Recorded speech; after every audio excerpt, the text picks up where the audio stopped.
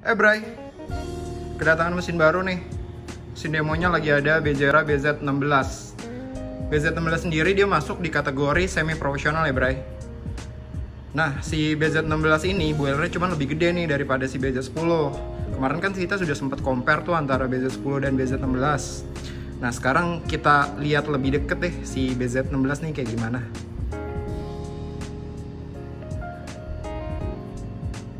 Jadi kayak dia buat brewing di sini ya. Jadi ini mirip sama si BZ10 nih. Jadi kayak kalau kita mau on onin secara manual, jadi kalau buat brewing di sini. Jadi kayak gini. Oke. Kita udah nyalain dia akan keluar. Kalau kita udah cukup ya uh, sama espresso yang kita butuhin, volumenya kita matiin. Nah, karena dia boilernya lumayan gede ya, 2 liter. Jadi steamannya juga pastinya lebih kencang dibandingin si BZ10. Itu kenapa gue bilang kalau mesin ini juga kalau lo uh, sambil brewing sambil steam juga aman-aman aja gitu. Kalau walaupun gelasnya gelas 600 ml. Kita lihat ya kekuatan steamnya kenceng ya Bray dia lobangnya ada dua mirip sama si BZ10 kalau B2016 kan ada 4 terus ini steamannya kenceng ya Bray. Kita coba lagi. Kelihatan banget ini lebih kencang steamannya dibandingin si BZ10 udah gitu otomatis kalau buat um, bikin produk pastinya lebih cepat lah dibandingin BZ10 lebih cepat sedikit lah. Terus juga di bagian sini dia kan terpisah nih gauge-nya. Antar si gauge buat brewing sama steam dia terpisah. Beda sama BT10 yang udah digabung. Sama mungkin orang yang nggak nyaman pakai tuas naik turun, kalau ini tuasnya modelnya diputar. Jadi ini bedanya. Ini buat air panas ya, Bray. Kalau si BZ10 kan dia tuas, kalau dia diputar kayak gini. Oke. Okay. Terus yang bagian bawah ini buat on off ini ya. Kalau ini posisi on, nyala dua-duanya. Dia kalau posisi off kayak gini. Kalau dia on, dia otomatis nyala.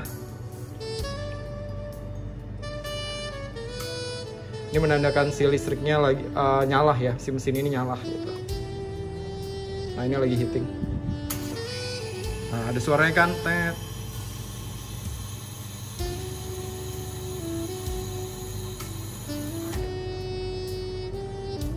Nah, um, ini jadi walaupun dia udah pakai water tank, tapi dia pakai eh walaupun dia nggak pakai water tank, tapi dia buat ke galonnya dia uh, selangnya lebih kecil ya, Bray. Jadi selangnya plastik kayak gini nih. Jadi ini ke selang pembuangan. Nah, kalau yang ininya juga lebih kecil nih dibandingin yang mesin profesional standar. Ini buat air bersih.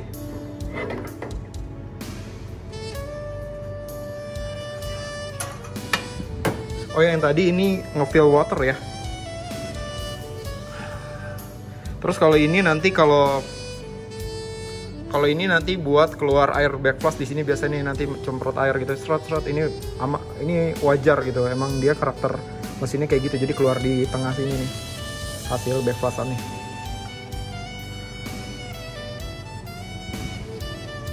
Jadi drip tray juga bisa diangkat, Bray. Kalau mau dibersihin ya di bagian bawah drip tray-nya dia udah ada lubang pembuangan kayak gini. Nih jadi udah langsung nggak repot nggak repot-repot ngebuang um, airnya ke sink terus. Jadi ini udah langsung bisa langsung connect ke galon. Ini cocok nih buat yang up to 80 cup lah